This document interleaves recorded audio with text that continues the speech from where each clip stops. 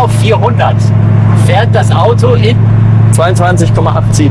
22,87 Sekunden. Oh. Alter, das gibt's ja gar nicht.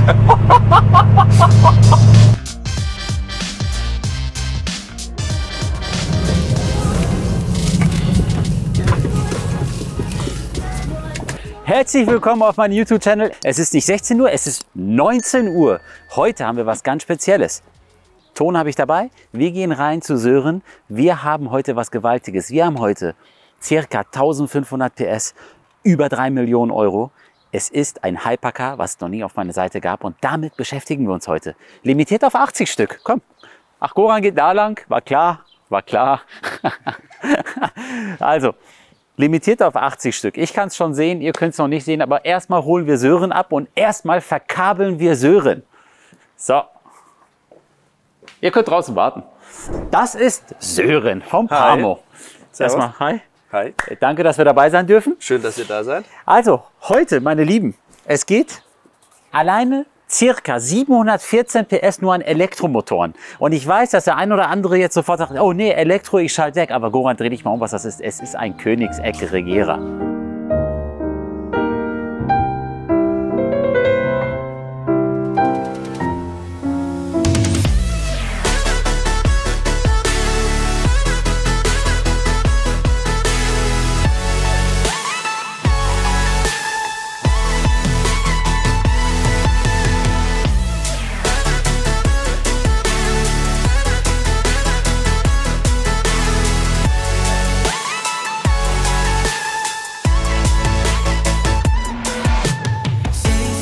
Jetzt wegschaltet, ist selber schuld. Ist echt selber schuld. Auch wenn es Elektro ist, ist egal. Wir haben hier ca. 1500 PS.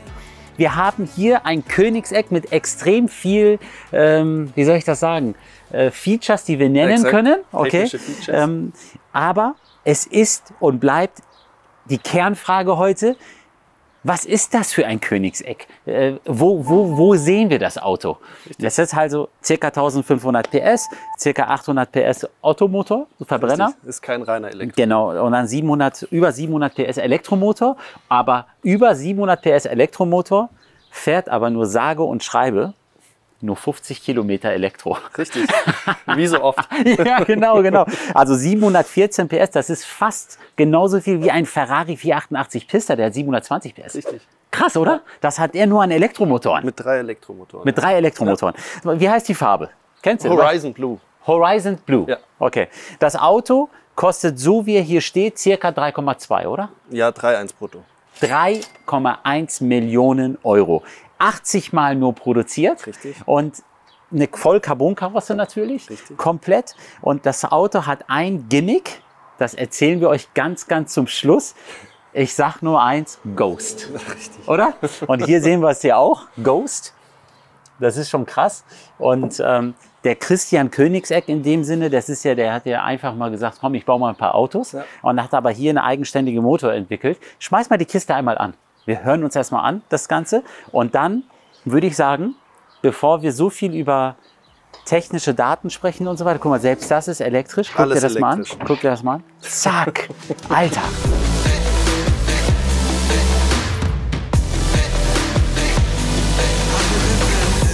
Und da gibt es ja bei Königseck immer wieder einen Hinweis.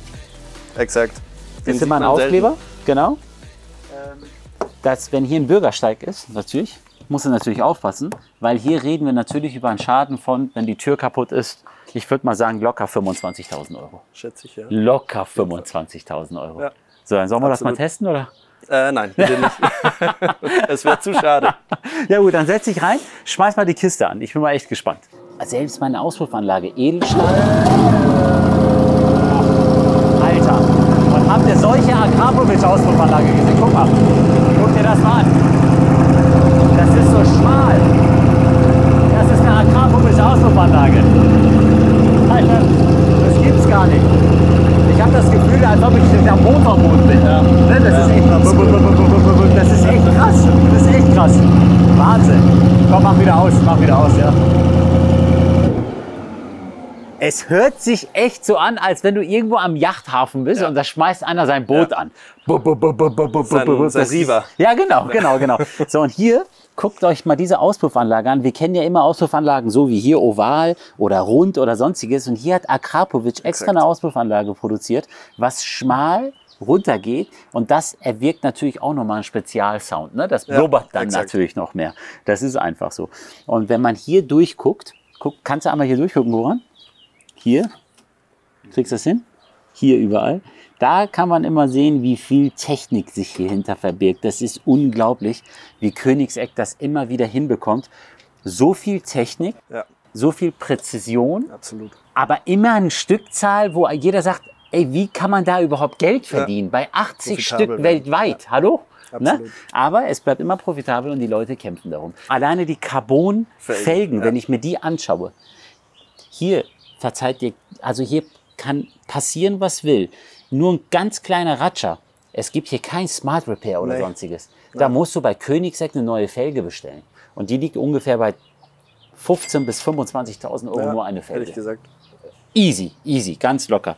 Die Keramikbremsen und so weiter. Und der Name Regera hat eine Bedeutung. Weißt du das? Um ehrlich zu sein, nein. Regera, hallo? Regera bedeutet auf Schwedisch, sag mal Schwedisch? Auf Schwedisch? Auf Schwedisch, ja? Auf Schwedisch, ne? Sö- guck mal, wir haben Sonntag 19 Uhr und Sören hilft mir. Ne? Schwedisch, oder? Richtig. Das heißt regieren. Das, Wirklich? ja, genau. Das ist der Okay. Königseck, der regiert. Okay. Okay, das ist schon krass. Das ist, äh, das ist echt wissen. krass. Das ist echt krass. Aber die Farbe, Farbe ist ja immer Geschmackssache. Ja, aber, aber die, die matcht ganz gut zu deinem Bentley. Ja, absolut. Ja, stimmt. stimmt. Aber die Farbe ist ja auch, es ist stimmig. Es ist von außen, innen stimmig. Und diese Frontscheibe, wenn du diese Wölbung hier alleine siehst, die ist schon krass. Auch natürlich nur für den Königseck entwickelt und dann mit ganz dünn beheizt, Ja. Damit du nie Sichtprobleme hast. Und eine Überraschung habe ich für euch. Das kennt man nämlich von einem Mercedes 124er. Hat aber mehrere Millionen Euro an Forschung gekostet, bis das hier umgesetzt wurde. Weißt du was? Weißt du was? Nee. Weißt du nicht? Wisst ihr das? Erzähle ich euch gleich. Also zwei Sachen haben wir für euch noch. Ganz zum Schluss Ghost.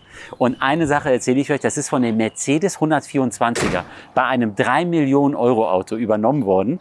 Der 124er ist in einem perfekten Zustand jetzt vielleicht bei 6.000 Euro. Oder vielleicht, ihr werdet jetzt schimpfen, lass es 10.000 Euro sein. Da kriegst du einen mega 124er, Mercedes-Benz 124er, E-Klasse aus den 90ern, 80er, 90er, wurde hier übernommen. Dann haben wir hier unser Glasdach sozusagen. Was Und- abnehmbar ist, Ja, nehmen wir das gleich ab beim Fahren? können wir machen. Ja. Fahren wir gleich eine Runde? Fahren, wir fahren gleich eine Runde, natürlich. Ich schwör's euch, der Tag, das Wetter passt. Goran schön in Sommeroutfit. Wollt ihr einmal Goran sehen? Komm mal her. Goran, das musst du auch reinschneiden, Alter. Goran, das musst du reinschneiden. Das geht nicht. So, Goran! so schön kurze Hose, T-Shirt. Mehr geht nicht, mehr geht nicht. Goran, das schneidest du bitte rein, ja? Ganz wichtig. Nein, nein, nein, das schneidest du nicht raus, Alter. Bist du verheiratet? Ja. Sehr schön. Das freut mich sehr für dich.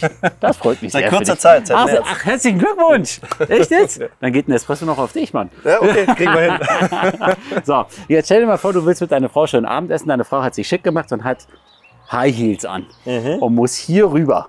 Alles voll Carbon. Alles voll Carbon. Aber guckt, guckt euch das mal an. Aber was ich jetzt sehe, der Vorbesitzer hat auf jeden Fall Geschmack und Ahnung gehabt und hat das alles schön foliert. Das heißt, Richtig. das geht nicht kaputt. Darf ich mich reinsetzen? Ja, klar. So, und jetzt setze ich mich mal rein, guck mal, alleine. So. Das ist fast, fast ein Meter, oder? Fast ein Meter.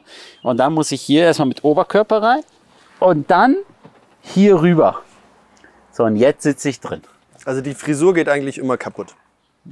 Ja, meine nicht so. Aber es ist die Frisur von deiner Frau auf jeden Fall. Und die High Heels könnten hier eventuell was beschädigen. Das ist ne? richtig. Und jetzt ist die Frage, würdest du deine Frau verbieten, die High Heels dann anzuziehen oder danach erst anzuziehen? Oder nicht? Oder willst du dann kommen, egal, steig ein? Nee, ich würde wahrscheinlich schon sagen, bitte zieh sie aus. Genial. Und hier haben wir diesen Knopf, den berühmten Knopf hier zum Zumachen. Und da drückst du rauf und dann guck. Zack. Das ist genial. Das ist Technik pur. Aber wiederum muss immer garantiert sein, dass deine Batterie vollgeladen ist. Richtig. Weil sonst hast du ein Problem. Also er muss eigentlich immer ans Ladegerät. Der muss immer ans Ladegerät. Genau, genau, genau, genau. Weißt du was, bevor wir so viel sprechen, Motor schauen wir uns gleich an. Mhm. Wir fahren eine Runde, damit wir uns schön den Motor anschauen können, was kocht. Ja, okay? richtig. Ghost sage ich euch zum Schluss. Aber was ist von den 124er, von den Mercedes-Benz 124er E-Klasse aus den 80er, 90er bei den Königsegg übernommen worden? Für mehrere Millionen Euro. Und zwar meine Scheibenwischanlage. Das hier. Das ist aus den 124er Wirklich? Mercedes. Ja, 100 Prozent, genau. Das ist aus den 124er. Und da hat aber trotzdem, wenn jetzt jeder denkt, aha, der hat das nur abgebaut und daran gebaut, das ist Quatsch. Das hat nicht. mehrere Millionen Euro Forschung gekostet, dass das auch klappt, dass Mhm. das funktioniert, ne? dass das alles perfekt ist. Und ähm, zwei Scheibenwischer wäre fast unmöglich. Ja, das bei der ne? Scheibenform. Bei der Scheibe. Ja. Ähm, und deswegen Der hüpft doch auch immer so hoch dann, oder? Ist Genau, das der? genau, genau, genau, genau. So, dann würde ich sagen, 1500 PS. Es ist Zeit, wir fahren.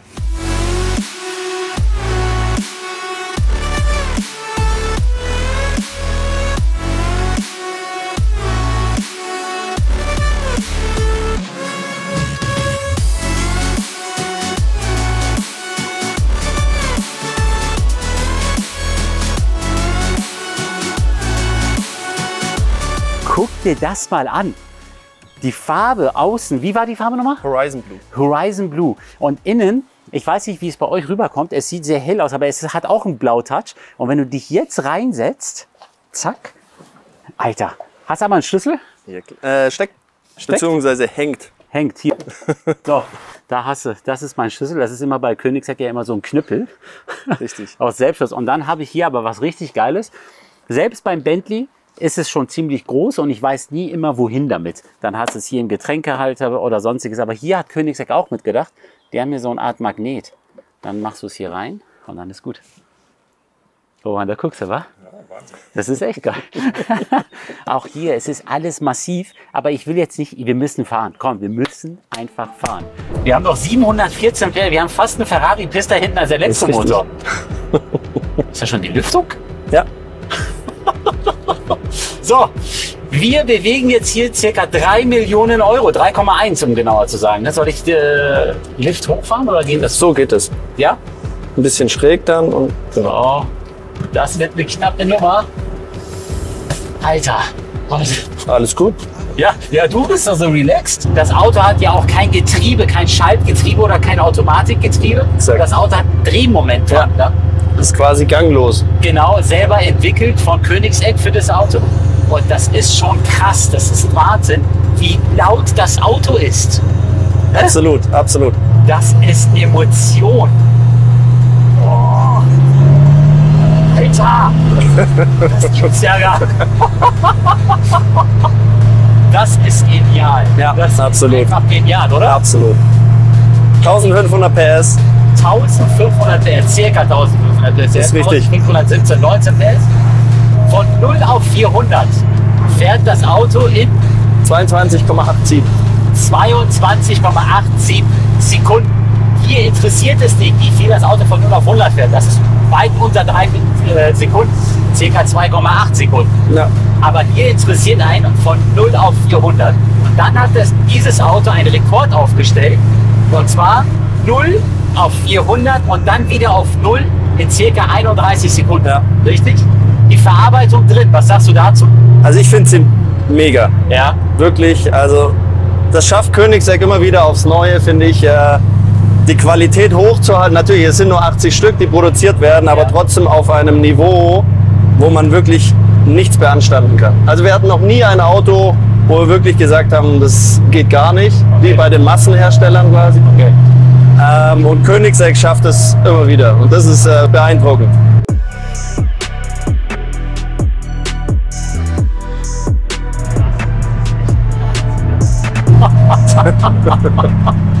Also ich bin selten sprachlos, aber hier bin ich sprachlos. Vor allem, wenn ich nochmal zurückkomme auf die Innenausstattung, finde ich das geil, dass alles hier pur ist, Edelstahl pur. Ja. Es ist nichts aus Plastik.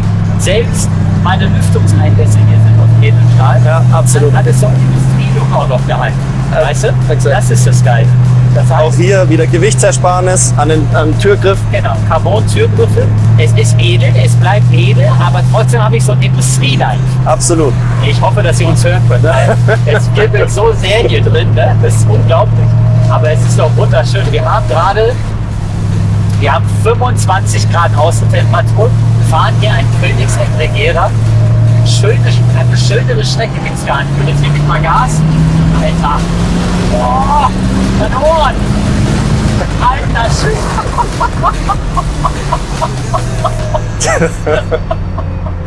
Das Auto macht so einen Spaß. Das ist unglaublich. Das ist einfach unglaublich. Ich hätte nie gedacht, dass das Auto so Spaß macht. Ja, das ist Weil absolut. das ist, wo ist der Regierer eigentlich? Ich finde, er sieht auch relativ wuchtig aus, wenn man Ja. ihn von außen anschaut. Aber wenn man ihn dann fährt, dann ist er wirklich agil und das ist, war auch die die, 1000 Lenkung alles. circa 1500 PS sind beeindruckend. Ja gut, jetzt sagt jeder, natürlich bei über 3 Millionen Euro erwarte ich das auch. Aber es gibt weit über 3 Millionen Euro Autos, die das nicht erfüllen. Exakt. Ne? Weil, welche Funktion hast du bei Pamocars? Also im Endeffekt bin ich einer der drei Gründer Okay. von Pamo. Wir haben Okay. Ende 2017 haben wir die äh, GmbH gegründet Mhm. und sind mal losgewatschelt. Weil durch Martin und Kevin hatten wir halt das Netzwerk Ja, und äh, es war immer der Wunsch von der Selbstständigkeit. Dann haben wir gesagt, Ende 17 jetzt oder nie. ja. Erst in einer ganz kleinen Halle, wo wir fünf Autos untergebracht haben. Ja. Zum Ende hin acht, aber da konnte man dann auch nicht mehr zwischen den Autos rumlaufen. Okay. Ist wirklich sehr tight. Und dann kam das Step by Step, äh, dass wir die Möglichkeit hatten, mit dem Neubau uns zu vergrößern. Okay. Teamaufbau, ähm, das, da sind wir jetzt dran. Warte mal, Achtung. Boah, Alter, ist das eng. Warte, warte mal. Warte, warte, warte, der schafft das. Boah, Ja, fahr vorbei jetzt. Alter. Krass, wie eng das war. Ja. ja, das hier im Dorf tatsächlich. Alter. Aber eigentlich fährt man mit so einem Auto auch nicht unbedingt durchs Dorf, wo Nein, das 30er-Zone brauchst, ist. brauchst, Länder, brauchst Landstraße, aber ich weiß auch nicht, warum, warum wir jetzt hier lang fahren. Ja, der, also, ja, mit dem Schalten, mit dem, es ist ja nicht anders möglich gewesen mit den Elektromotoren noch, weil der ist ja angeflanscht an die Hinterachse. Exakt.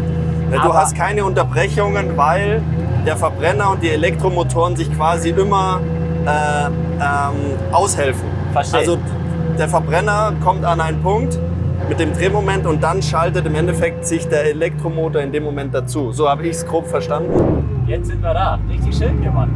Das ist ja krass. Nur für euch. Ja, nur für uns. Das ist geil. Das ist geil. So, dann machen wir mal aus. Boah, der ist so laut, ne? Richtig. Das ist unglaublich. Und jetzt gehen die Türen auf. Zack. Ich bin jetzt neutral. Geht der automatisch in äh, Hand? Handbremse? Ja. Hat er? Okay, alles klar. Boah, nicht, dass das Ding hier noch im Wasser fällt. Alter Schwede, dieses Auto zu fahren, das ist echt Champions League. Es ist echt Champions League. Und dieses Drehmomentwandler, da musst du dich echt dran gewöhnen. Da musst du dich dran Absolut. gewöhnen. Und es ist jetzt nicht so, dass ich hier aussteige und sage, genial, das ist es. Ich mache mal jetzt die Tür zu. Machst du auch mal bitte die Tür zu, weil jetzt kommen wir zum Thema Ghost. Was bedeutet Ghost? Was meinen wir mit Ghost? Da muss ich einmal einen Schlüssel rausholen. Hier ist ein Ghost-Knopf. Da ist auch ein Geist drauf. Und da müssen wir jetzt zweimal raufdrücken. Aha, jetzt geht's los. So, zweimal raufgedrückt. So, jetzt fängt er an. Guckt euch das mal an. Alter. Was passiert jetzt? Das ist doch genial. So, Kofferraum vorne, schön auf. Da hätten wir unser Verdeck reintun können. Haben wir aber nicht. Haben wir erstmal im Büro reingelegt. So, und jetzt haben wir Ghost. Und jetzt können wir uns mal unser Motor anschauen. Das ist der sogenannte Ghost Mode. Das ist der Ghost Mode in dem Sinne. Und jetzt können wir uns den Motor anschauen. Soweit es geht, wieder in die Mitte gezogen. Es ist ein Heckmittelmotor in dem Sinne. Ähm, ein V8-Motor mit circa 800 PS, Verbrenner, 5 Liter Hubraum. 5 Liter Hubraum. Und dann kommt noch dazu, dass dieser Motor, der so gewaltig aussieht, 109, circa 190 Kilo wiegt. Ja. circa 190 Kilo nur wiegt. Das ist krass. Das ist Wahnsinn, wie leicht das für einen Motor ist. absolut. Und hier können wir auch die gewaltigen Räder sehen. Alter, das ist echt heftig. Und hinten musst du immer aufmachen, damit du hier tanken kannst. Und das ist für Kühlflüssigkeit. Selbst mein Kühlflüssigkeitdeckel ist aus Edelstahl pur. Und tanken natürlich kein Tankdeckel, damit du so schnell wie möglich tanken kannst. Exakt. Full Also mindestens 98 Oktan, das gehört sich einfach so. So, und wenn wir hier uns das Ganze anschauen, das ist schon mal, das, das ist so typisch Königseck, Präzision, Exakt, Technik pur. Ne? Das Ja, ist Wahnsinn. das Das ist Wahnsinn. Am Anfang war ja Königseck, ganz am Anfang, als sie rauskam, war ja immer das Problem, alle Autos weltweit mussten zum Service wieder zurück nach Schweden. Exakt. Alle Autos. Ob der Araber das Auto gekauft hat, ob der Chinese das Auto gekauft hat oder ob der Amerikaner das Auto gekauft hat. Die Autos mussten alle für Service wieder zurück nach Schweden zum Service. Aber jetzt ist es so, dass sie bestimmte Partner haben in Deutschland und ähm, da können sie die Inspektion auch dort durchführen. Ja, das nicht bei allen, aber es gibt in Deutschland, meine ich, einen. Oder? Einen, genau, in Aachen. Ja. Genau, in Aachen gibt's einen. Äh, da kann man hinfahren und da kann man das machen lassen. Da muss man nicht immer diese teure Transportkosten nach Schweden haben. So, ich mache mal wieder alles zu. Guckt euch das mal an. So, und jetzt gehen erstmal die Türen zu. Alter, zweimal auf den Knopf drücken und das Auto fängt an, sich zu verstellen. Wie ein Transformer. Und wie filigran, wie leise, wie langsam, weißt du? Das ist echt genial, oder? Guck dir das mal an. Zack. klack, klack. Und jetzt, tschüss. Und rein. geil. Zaubern kann ich auch schon, Alter. Richtig. Das ist echt geil. Das ist echt geil.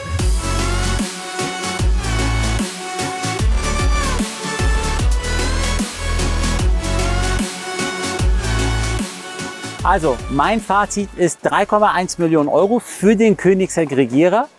Kann man ausgeben, 80 man Stück ausgeben, ja. weltweit. Ähm, eigentlich eine sichere Bank. Okay, Mit der starken Limitierung. Absolut. Aber wenn einer richtig sportlich fahren möchte, richtig auf Zack fahren möchte und ähm, auch mal mit der Schaltung spielen möchte Ja. und so weiter, Ja. dann ist er hier falsch. Das ist richtig. Der, derjenige, der aber auf extrem heftige Werte Wert legt Mhm. und sagt, ich möchte ein Auto haben, was sehr, sehr speziell ist, so ein Drehmoment. Wandler ist schon speziell. Dann nochmal drei Elektromotoren ist schon speziell. Und 400 fahren möchte. absolut 400 fahren möchte, dann ist er hier genau Absolut. richtig. Absolut. Oder? Ja, ist so. Krass. Wie wir gesagt, techn technisch ein Meisterwerk. Ja, Ähm, aber natürlich, es ist zum geradeausfahren. Es ist brachiale Kraft. absolut. Ähm, aber es ist natürlich kein agiles Monster für einen Track oder sowas. Also Aus- aus Zone meiner 30, Sicht. Zone 30 war schwierig. Ja, ne? war ist so. schwierig. Ja. Genau, genau, genau, genau, genau. Alles klar. Danke, dass wir dabei sein durften. Vielen okay, Dank. vielen Dank. Also ich hoffe, der Beitrag hat euch gefallen. Königseck hatten wir noch nie auf unserer Seite. Jetzt der Regierer. Ich wünsche euch noch einen schönen Sonntag. Bis nächste Woche. Ciao.